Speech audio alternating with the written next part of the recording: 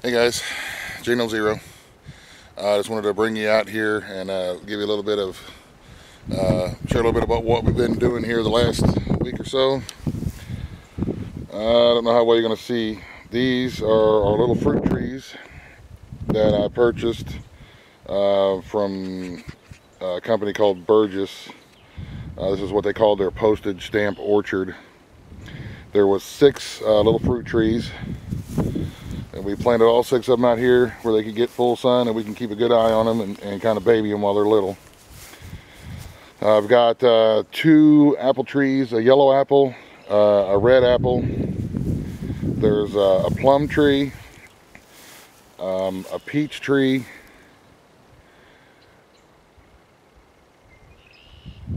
uh, and a cherry tree. I think that's six of them. Yeah, two apples, a peach, a plum, a peach, and a pear. So yeah, two apples, a plum, a peach, and a pear. So anyway, what we did was, you know, the old saying, dig a $10 hole for a $5 plant. We uh, dig, dug a big hole and we put in the bottom of it um, wood chips. And then we had some uh, some good dirt from, from the garden that we mixed in with a little bit of rabbit manure. And then we put that in on the bottom of the hole and then we put the tree root system into the good dirt, and then we put another layer of wood chips on the top, and then we leave it, uh, we leave like a concave area there so they can catch and collect all the water. That way all the water that runs in will run down into the root system. And uh, little trees take a lot of water to get going real good. And I wanted to put some really, really good dirt in there, a lot of good dirt to give them a good, a good start and a good chance to uh, take off and thrive.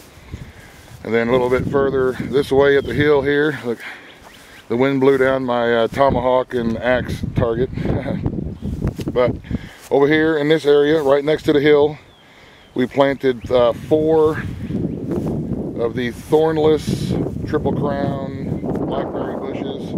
We have lots of wild blackberries, um, but I got these for just a couple dollars a piece. Uh, there was a really good sale, and they grow big, beautiful berries and I wanted to give them a shot. Like I say, we have up there along the up there along the hill line in the Fendros, we have lots of wild blackberries that we uh, that we harvest in the summertime as well. This will just add to it, and it'll be a lot easier for uh, you know the kids to come out here and pick blackberries without getting you know stickers and stuff like that in them.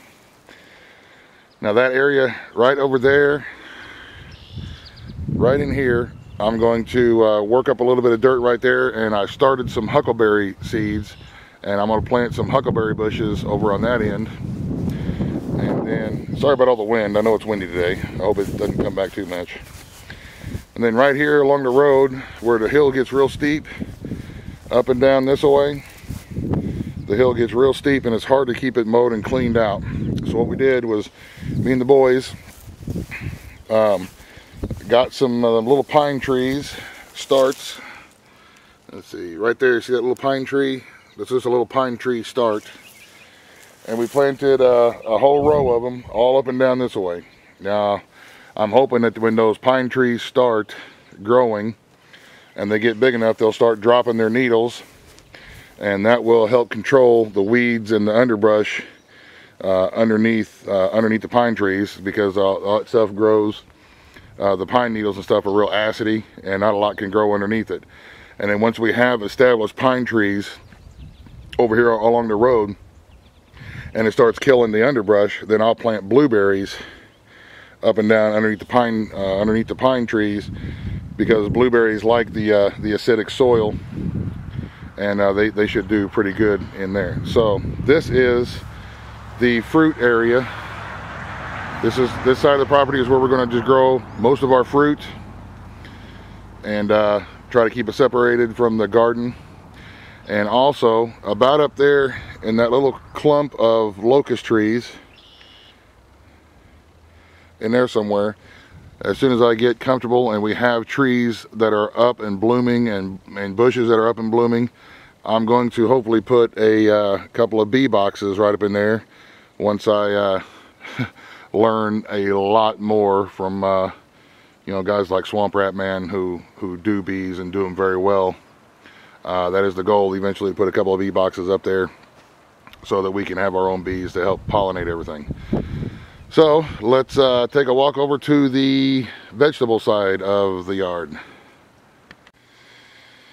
Okay, right here directly behind the house, we have uh, the uh, is where I decided to plant strawberries at. These are strawberries that we planted last year. And you can see that they're starting to come up and they're starting to look pretty good. Still gets cold some nights, so uh, every couple of nights, you know, if it gets really cold, I'll come out here and pull that straw back over the top of them. And then of course we got, I had to start more seeds because if uh, you, you remember couple weeks back, you know, I, I lost most of my seedlings because I jumped the gun on planting my garden this year. I got in a hurry and I tried to rush it and I ended up having to do it again. So lesson learned, lesson shared and uh, we're moving along. Over here on this end of the wall, I took some old scrap wood from the uh, the same stuff we built the barn out of, just an old scrap from uh, somebody else's uh, where they tore something down and we kept it. And we planted more strawberries along this side of the wall. I'm hoping that the strawberries will grow and they'll have plenty of room to grow and they can even grow out and hang over and they look pretty and run up and they'll, they'll eventually they'll make runners and fill up this whole box. We'll have strawberries, but there's uh, little strawberry plants that are coming up all through this box here. And again, I'm, I apologize about all the wind. So, and this box goes all the way down to the end of the wall on this side of the house. And this will be uh, strawberries and we should be able to produce quite a few strawberries here. So, let's walk down to the garden. Alrighty, now looking at the garden up here, this front part of the garden here, uh, I don't know if you remember or not, last year was just a big pile of wood chips uh, that we smoothed out. This year it is uh, really good looking dirt underneath, so we just took our hoe and dug a couple of trenches and planted peas uh, in this. This is our big pea patch. And then at the very front of it, this away, we have a couple more strawberry plants at the front that we had extra plants.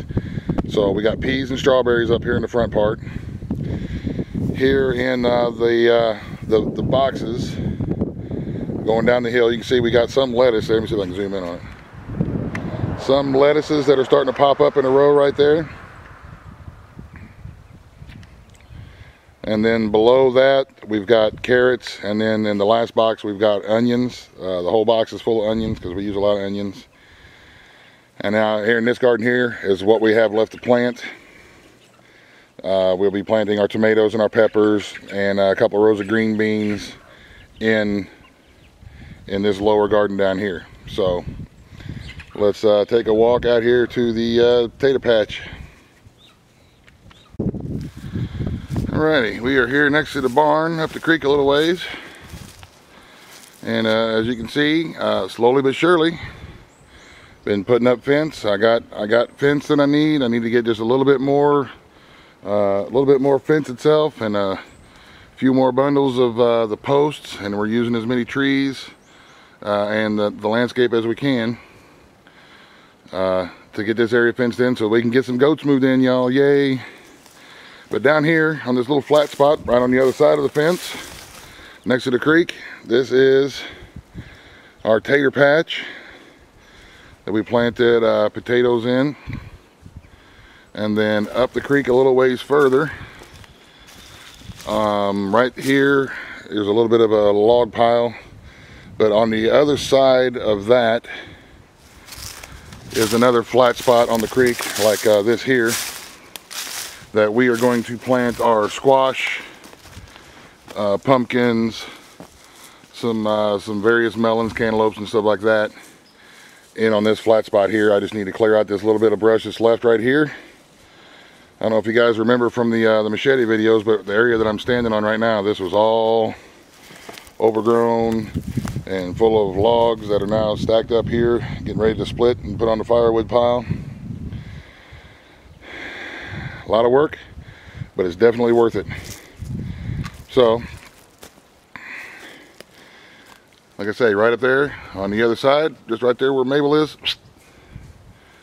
we're going to plant uh, squash and pumpkins and melons and cantaloupes and uh, stuff like that up on that flat spot up the creek because I don't want to feel like I'm uh, not using any part that is available to me. So all I got to do now is get out here and get after it, take out some of these uh, little saplings that are here that are kind of gnarly and, and mussed up a little bit and uh, saw up some of the stuff that's in this pile here and uh, make another make another pile of wood out here that we can come and get in the fall and the winter make us a nice little path right up to that spot and uh, get that part up there going so there you go guys that's a little bit of an update of what we've been doing what we've been planting um, I really appreciate everybody uh, support everybody's uh, advice and assistance and uh, we'll definitely keep you posted as far as uh, fencing goes and, and when we get goats moved in and and uh, you know just general updates on what we've been got going on and the uh, the progress that we're making. And I, like I say, I really appreciate everybody's views, comments, suggestions. Um, that's it for now. I'm going to get back after it. Y'all have a great day. Thanks for watching. God bless. In the end.